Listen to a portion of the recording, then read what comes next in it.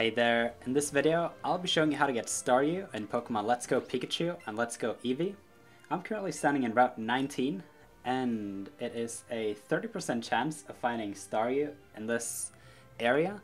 And so this is the earliest point in the game where you can actually catch a lot of water type Pokemon.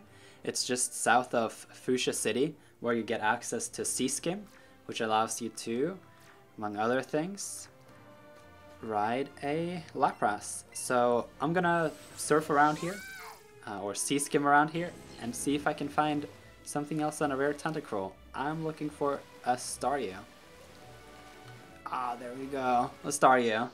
Let's see if we can catch the Staryu. Alright, so I, I got the Staryu. I used like 5 Ultra Balls and got it on the last Great Ball, so this was a little challenging. Not so much because it breaks out, but because it's jumping around and so on. But um, good luck on your Staryu, and there you go. That was it for this video. If you have questions or anything to add, you can make use of the comment section. There are a lot of videos on this YouTube channel, and so you will likely find more Pokemon themed videos to enjoy.